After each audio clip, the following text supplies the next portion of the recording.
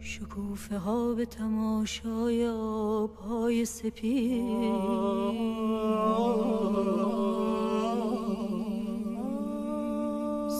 Je sais pas si tout le monde suit, mais de toute façon, ce sera rediffusé, donc euh, on reste avec euh, les vrais.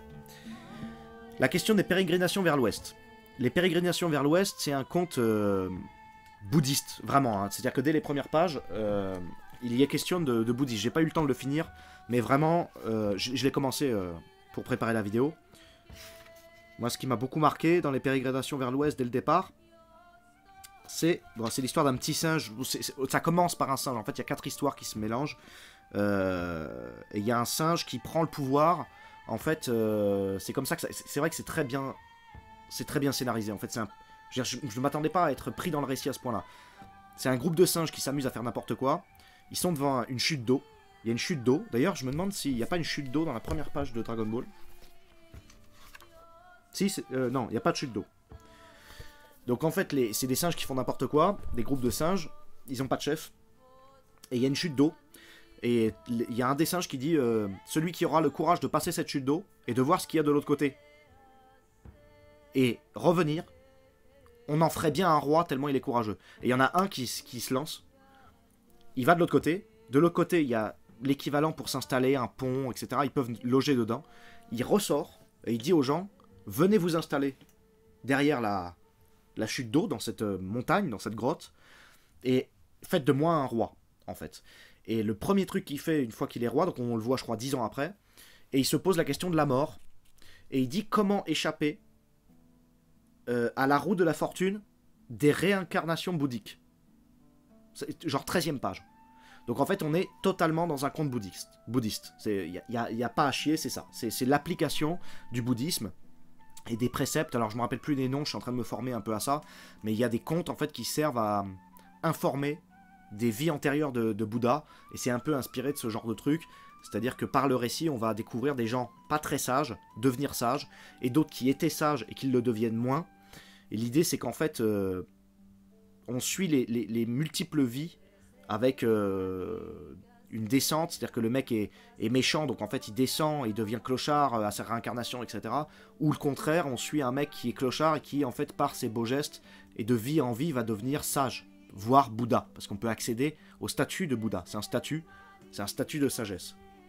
Et il est dit dans le récit euh, de, du singe pèlerin, enfin de- des pérégrinations vers l'ouest, que ceux qui accèdent à l'immortalité et qui arrivent à stopper la roue de la réincarnation sont. Il y a trois, trois trucs. Les sages. Je vais regarder parce que c'est pas encore frais pour moi. Les sages, les bouddhas et les immortels. Voilà, bon, comme ça c'est net. Ce sont les trois catégories qui sortent de la mort. Et là, vous vous préparez, quittez le live, ceux qui veulent pas être spoilés, parce que je vais envoyer euh, maintenant du spoil Dragon Ball direct. Vous êtes chaud? Parce que là je spoil. Je pars directement à la dernière page. On va tout de suite balancer le truc. Vous êtes prêts? Quittez, hein, je... 42e album. Le dernier. Là où on peut comprendre que, en fait, évidemment, qu'il a saisi Akira Toriyama les principes bouddhistes, qu'il les a quand même mis dans le récit. C'est que, en fait, vous savez, Bou, le dernier ennemi, le plus dangereux, parce qu'il est malin, mais il est très très très très dangereux. Il est très con, mais il est très très dangereux. Eh bien, ce Bou meurt, puisqu'il est tué, le méchant Bou est tué par Sangoku, en faisant une boule d'énergie. Il recueille l'énergie du monde, de toutes les planètes, dans une boule, et il la jette sur Bou. Bou meurt grâce à un individu quasi prophétique, qui est capable d'accueillir l'énergie de la terre entière, de toutes les plantes, est-il dit, hein, des individus, des plantes et tout ça, pour la jeter contre le mal. Il tue cette personne. Et qu'est-ce qu'on voit à la fin? Il participe, euh, je crois, euh, dix ans après, dix ans plus tard, il participe à un concours. Le concours qui a fait naître Sangoku, puisque c'est le premier concours auquel il a participé, le tournoi de combat. Tout est autour de ça, le tournoi des arts martiaux. Euh, C'est le grand truc. Et bien le dernier tournoi des arts martiaux, tout le monde y participe, dont Sangoku. Et Sangoku y participe pourquoi? Parce que il attend un personnage qui s'appelle Oub, qui est un petit indien, en fait, qui vient essayer de gagner le grand prix de la, de la, des arts martiaux pour gagner de l'argent et acheter de la bouffe à sa région qui est dans le malheur. D'accord? Et bien il s'avère que c'est écrit Oub, le petit indien pauvre, dans un village de pauvres qui crève la dalle, est en fait la réincarnation de Bou. C'est ce qu'ils disent. Et c'est pour ça que Sangoku est allé le voir. Ce qui veut dire qu'en fait, Bou, qui a fait énormément de mal à la planète, qui a essayé de tuer la planète, de détruire la planète, s'est réincarné en pauvre. En pauvre indien. Euh, et Sangoku va se rattraper, faire une bonne action, en emmenant Oub s'entraîner pour devenir plus fort et pouvoir aider de lui-même, de lui-même, sa communauté. Il va le rendre indépendant par son entraînement. Il devient enfin ce qu'il n'a jamais été, c'est-à-dire entraîneur, maître. Sangoku devient maître à la fin, au 42e épisode. Devient maître chef spirituel, en fait. En gros. Ce qu'il a toujours refusé tout le long du récit, puisqu'il s'est même pas occupé de ses enfants, vu qu'il était mort. Vous comprenez? Il rachète sa mauvaise action d'avoir tué un ennemi, Sangoku, en prenant la réincarnation de cet ennemi-là, en homme pauvre. Parce que, Oub, en vrai, qu'est-ce qui serait passé? Il aurait pu avoir de la rancœur, décider encore de vouloir tuer les autres. Parce qu'on l'a laissé dans la merde. Parce qu'on l'a fait s'incarner dans la pauvreté. Donc, Sangoku le prend sous son aile et va lui apprendre à devenir autonome et indépendant. En cela, il est évident que Dragon Ball, c'est la base, est bouddhiste, dans son principe, dans son essence structurelle. Et donc, on va voir ça sur tout le long de l'œuvre. C'est-à-dire que, je pourrais vous prendre mille exemples. À partir du moment où on a compris que, oui, Dragon Ball, c'est l'application du bouddhisme dans un récit, c'est ce qui structure l'intégralité du récit. Après, on va choper des éléments qui sont plus ou moins mystiques des sociétés traditionnelles orientales, occidentales et bouddhistes. Parce que c'est là qu'est très fort, Akira est très fort, comme je disais au début du live. Il est inspiré par les occidentaux. Il a compris la mystique occidentale. Il aime l'Occident. Il aime les cultures étrangères. Vous avez vu le nombre de vêtements arabes qu'il donne à ses personnages? Ne serait-ce que dans Dragon Quest, ces jeux vidéo. C'est un obsédé de l'orientalisme. C'est dragon, un dragon. Dragon, Dragon Quest, c'est la version occidentale du mysticisme contenu dans le bouddhisme. Vous comprenez ça ou pas? Il fait le pont par la mystique dans son récit entre toutes les cultures traditionnelles et toutes les cultures mystiques. Et c'est comme ça qu'on peut lire Dragon Ball. Vous allez choper, si vous relisez Dragon Ball, vous pouvez extraire tout un tas d'images, de méditation, d'exercices de méditation, c'est ça ma thèse, hein, moi j'en suis convaincu. Euh, de sagesse orientale, occidentale, asiatique, etc. etc. Je sais pas si je me fais bien comprendre, donc je vais regarder un peu le chat, parce que... Vous savez, là, comme je n'ai pas vraiment un rapport avec vous, je sais pas si je suis bien entendu, et comme j'ai pas de montage, je ne sais même pas si euh, je suis bien compris. Donc euh, un peu d'indulgence, et je vous écoute. Ok, top, continue, garde le flow. Pour l'instant, les gens ils parlent un peu d'autre chose. Hein. Il y a écrit euh, Peut-on dire que RG a un dessin droitard euh, Oui, peut-être. Euh, efficace Oui, on peut, on peut dire droitard. Dans le sens où la droite est sincère et, franche. Disons, la ligne claire. Voilà, les choses claires. Dans ce cas-là, ça voudrait dire que la gauche, c'est la ligne molle ou la ligne cafouillie. Donc aussi, il faut faire gaffe avec ces, ces notions. Oui, je suis pas trop d'accord pour dire que la droite représente la droiture. Non, mais c'est l'esprit. C'est comme ça que joue le dans le cerveau, en fait. C'est du langage. Superbe approche. Je me rappelle d'une copine en primaire qui s'exerçait aux positions vues dans Dragon Ball. On avait le droit à plein de Kamehameha. Alors, je vais tilter là-dessus. Quand j'étais petit, je me rappelle des élèves qui étaient influencés par le dessin animé Dragon Ball et qui faisaient des kamehameha pour taper leurs potes, pour jeter des objets, pour faire le mal autour d'eux. Mal, donc j'avais tendance à trouver ça grotesque et même dangereux. moi, je me rappelle peut-être 8 ans, 6 ans, 7 ans, je me disais, je pensais comme un vieux con, Dragon Ball provoque la violence chez les enfants. mes contemporains. Et euh, à y réfléchir, comme tu dis, les enfants qui vont imiter les gestes, c'est très important, parce que tous les enfants imitent les gestes de leur personnage favori. On parlait de euh, Hergé qui est de droite. Hergé est fondamentalement de droite. Il était d'extrême droite, pour des raisons historiques, et ensuite il est passé en franc-maçonnerie, c'est-à-dire qu'il était de gauche, élitiste. Ce qui revient à dire de droite, presque. Donc, il est passé d'un élitisme à un autre, en fait. Maintenant, en tant qu'homme de droite, catholique particulièrement, au départ, il a une conscience particulière de ce qu'il fait faire aux enfants, de ce qu'il donne à manger aux enfants. Euh, Akira Toriyama aussi, mais il est moins respectueux euh, de la. Il a, il a une idée moins grave, c'est plus un punk, il s'en fout de mettre des meufs à poil. C'est plus pour les ados. Alors que. Et puis on est au Japon.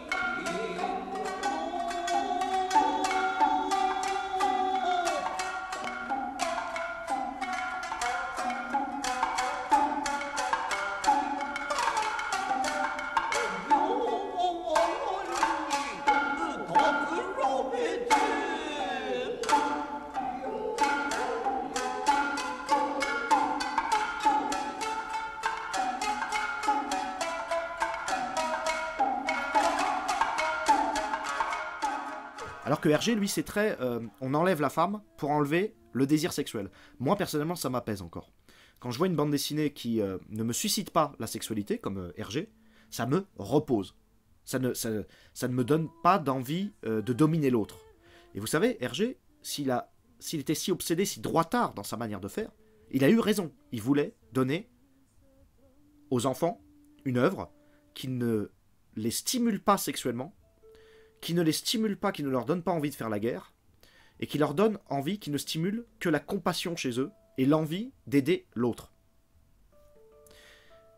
Dans Dragon Ball, il y a l'envie de susciter l'excitation sexuelle et ça marche parce que les femmes sont très bien dessinées, c'est ce que son éditeur disait, c'est aussi l'un des principes qui a fait que non seulement ça a marché, mais en plus ses éditeurs l'adoraient parce que c'était l'un de ceux qui dessinaient le mieux les femmes. Elles sont sexy, elles sont entreprenantes, elles sont belles en général, et donc elles suscitent la sexualité. Elles sont coquines.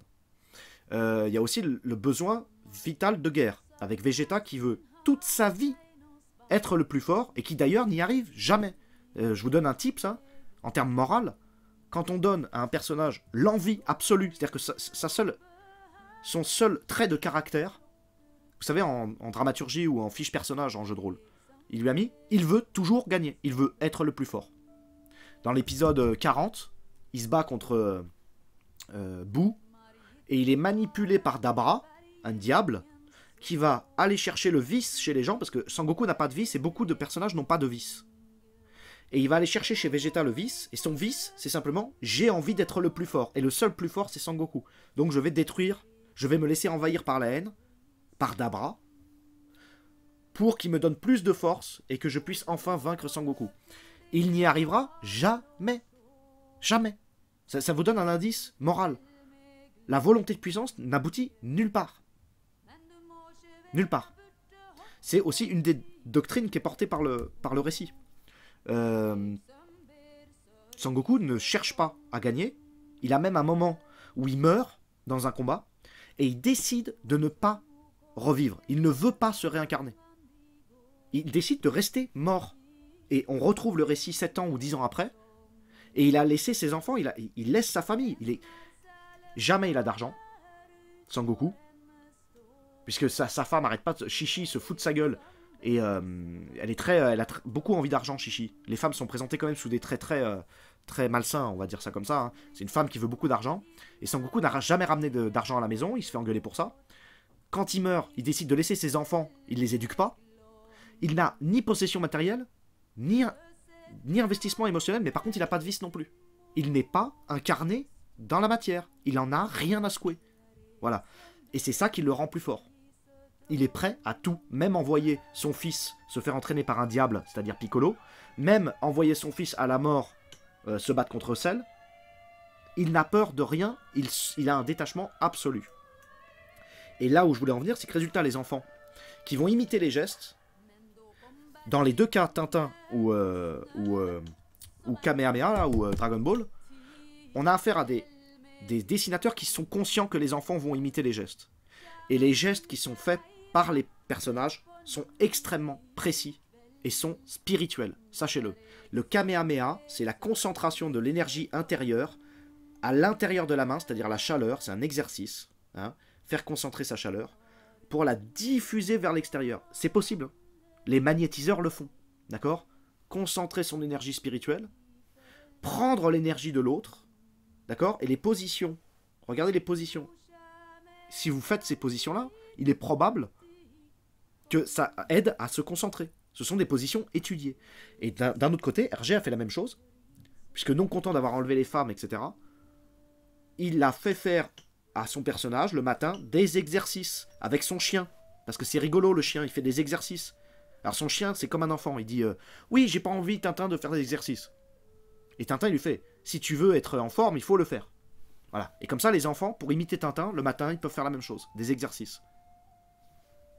Si jamais il y a un père, par exemple, alcoolique, un enfant qui a un père alcoolique, s'il lit les albums de Tintin, il va trouver un grand frère. Et c'est ce que disait Hergé. Fabriquer un grand frère. C'était son but dans, en faisant Tintin. Fabriquer un grand frère. C'est l'esprit scout. Voilà. Donc c'est normal qu'ils aient une précision, surtout Hergé, qui est un catholique, c'est normal qu'il ait cette précision droitarde, en fait. Euh, Qu'on dit euh, fasciste, presque. C'est normal. C'est parce que lui prend en compte que les enfants sont influençables. Donc il décide de les essayer au mieux possible de les influencer dans ce qu'il estime être le bon sens. C'est à comprendre comme ça. Voilà, j'ai fait une grosse digression, je suis désolé.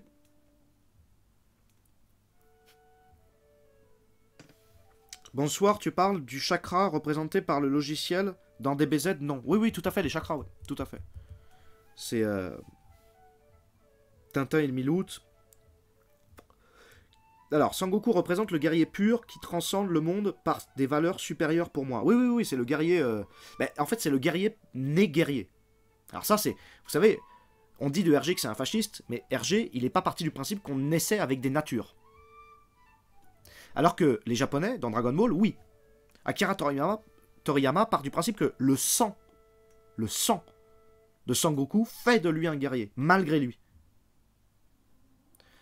Et de Vegeta. Et quelque part, de Krillin, l'être humain, un faible. Pourquoi? Parce qu'ils sont accrochés aux femmes. Le point commun entre tous les humains, c'est qu'ils sont obsédés par les femmes. Ils sont, ils n'arrivent pas à se séparer de leur quéquette. Alors que Vegeta baise un peu parce qu'il s'est fait choper par, euh, par Bulma, mais en fait il s'en bat les couilles des, meufs. Tu vois, ils sont pas, et c'est le cas aussi de, de Sangoku, mais ils s'en battent les couilles de leurs meufs et de leur descendance aussi. Ils ont une volonté de puissance individuelle. Hergé, il s'est inspiré de Léon de Grelle. Enfin, tu dois savoir. Oui, oui, oui, bah. Léon de Grelle, soldat de l'Ordre Noir, n'a rien renié, même pas une poignée de main avec Hitler. Quand Hitler m'a dit si j'avais un fils, je voudrais qu'il soit comme vous, me remettant le collier de la Ritterkreuz, c'est évident que il voyait en moi celui qui aurait pu continuer son œuvre. D'ailleurs, il n'y a que lui qui pouvait la donner. Je garde religieusement la, la première photo que j'ai eue d'Hitler, qui m'a donné quand j'étais à Berlin pour la, en 1936, où j'avais eu avec lui une conversation extraordinaire pendant plusieurs heures. Et vous voyez, il était là, tout simple. sans complication. Mais c'est bien difficile de trouver des photos comme ça maintenant. Léon de Grelle vit en toute impunité. Son appartement de Malaga est un musée du Troisième Reich. Mais Léon de Grelle n'est pas seulement le fantôme d'un ordre dépassé. Il est aussi l'un des fondateurs historiques du fascisme européen. En 1936, il crée le mouvement Rex et fait une entrée fracassante au Parlement de Bruxelles. Son parti, Rex, est un exemple type d'une organisation fasciste. Parti de masse, embrigadement, décorum, tous les oripeaux d'une organisation totalitaire. C'est lui qui va présenter Hergé à De Grelle. Et puis il y a un supplément jeunesse, qui est le petit 20e, euh, dans euh, lequel euh, Hergé va euh, faire ses euh, premières armes euh, qui vont amener à la naissance du personnage de Tintin.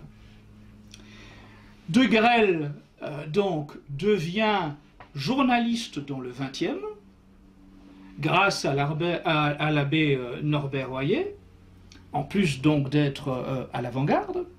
De Grelle rencontre Hergé, c'est une amitié qui va durer, des publications de De Grelle vont être illustrées par Hergé, on le verra par la suite, notamment une publication euh, intitulée La guerre scolaire, donc par rapport à, la nécessité de l'enseignement catholique attaqué, eh bien, euh, la, couverture de la, de la, brochure signée par Léon de Grelle est illustrée par Hergé. Euh, Hergé aussi va être influencé par un cadeau que lui fait Léon de Grelle. on, le verra plus tard, Léon de Grelle va faire des voyages euh, dans, le cadre de son rôle de journaliste et va ramener des États-Unis des fascicules euh, qu'on appellerait les premières bandes dessinées euh, américaines avec des bulles. À l'époque, les, ouvrages pour la jeunesse dessinés ne contiennent pas ce qu'on appelle le phylactère. Ce sont des, légendes qui sont écrites sous la vignette dessinée.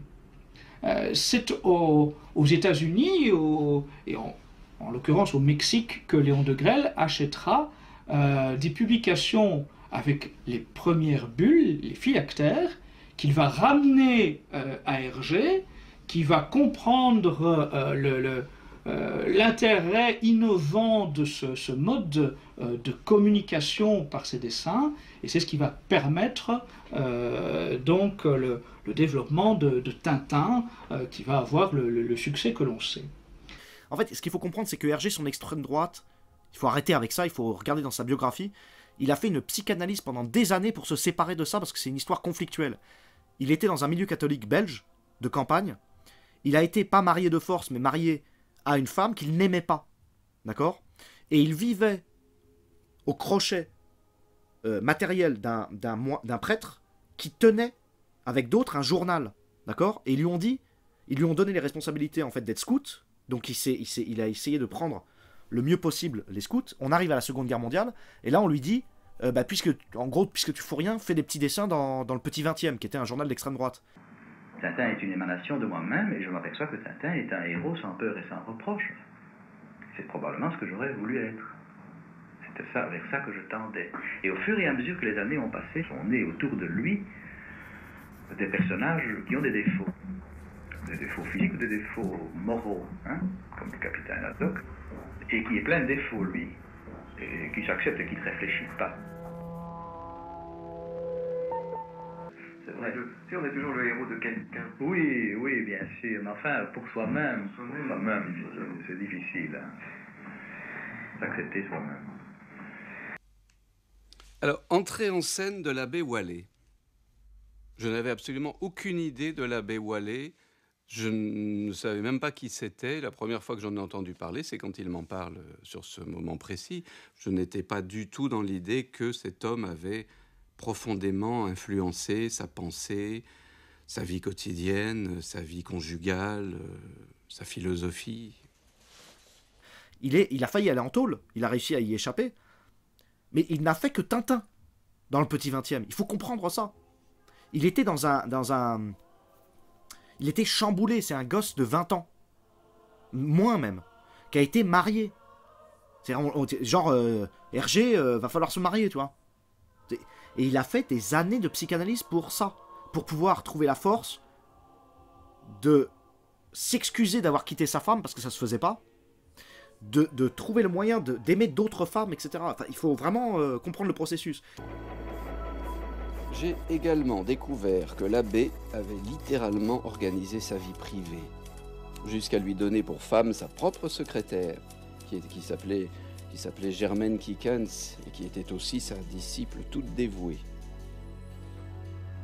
Et il y avait ces deux, nous avons tous les deux subi, mon épouse et moi, nous avons subi cette influence. Et il y a eu une espèce de surenchère dans, la, dans, la recherche de la perfection, si vous voulez. Hein l'attitude la meilleure à suivre, de la hauteur de vue. Et le fait qu'il était franc-maçon, à mon avis, ça doit être dû au fait, bon, déjà qu'il s'intéresse à la spiritualité. Très rapidement, par le dessin, il a rencontré des Chinois. Un Chinois, son meilleur ami, celui qu'il a caricaturé, qu'il a fait un personnage euh, noble. En fait, c'est un mec qui était ouvert à la culture. C'est juste qu'il était dans un monde fermé à la culture. D'accord? Mais lui, il a fait, par le dessin, il s'est affranchi des codes dans lesquels il, il était enraciné. Donc il faut arrêter de dire que c'est un nazi. Concrètement. Et s'il aimait Léon de Grelle, c'est parce que dans l'époque, il faut trouver des modèles qui sont dans ton milieu. D'accord? Son milieu, c'est catholique extrémiste, et il a dû trouver un modèle, il faudrait se renseigner sur lui, qui lui semblait être bon, et qui sait que ça serait pas une commande du petit 20 e c'est-à-dire inspire-toi de lui et fais-en un récit, on sait pas. Il était un homme très politisé. Éditeur du XXe siècle, journal ultra-catholique, il admirait Hitler et le fascisme italien. Il était fier du portrait de Mussolini qui trônait dans son bureau.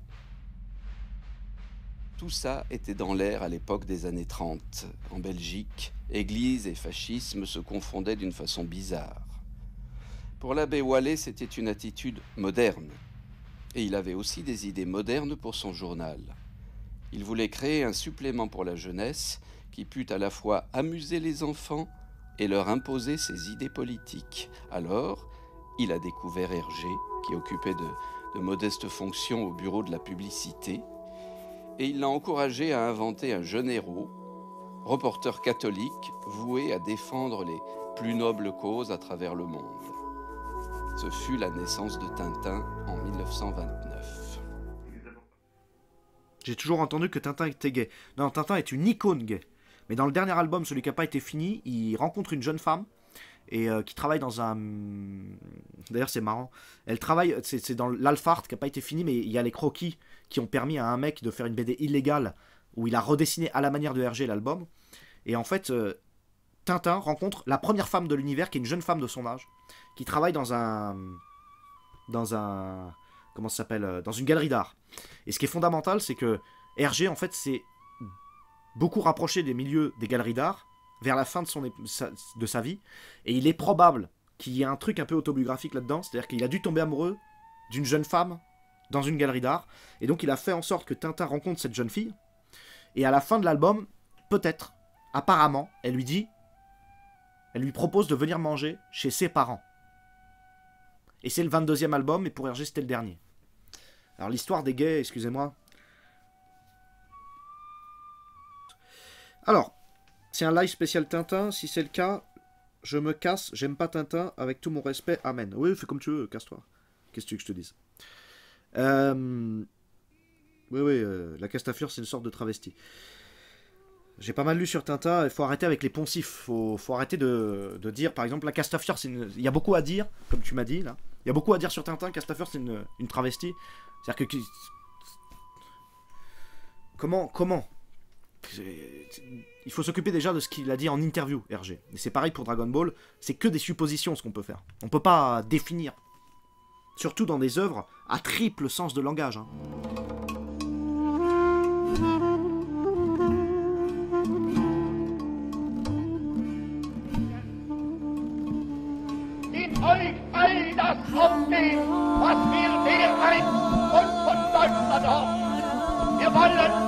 In euch all das aufgeht, was wir Mehrheit und von Deutschland haben. Wir wollen ein Volk sein. Und ihr, meine Jugend, soll diesem Volk werden. Wir wollen einst keine Klassen und Stände mehr sehen.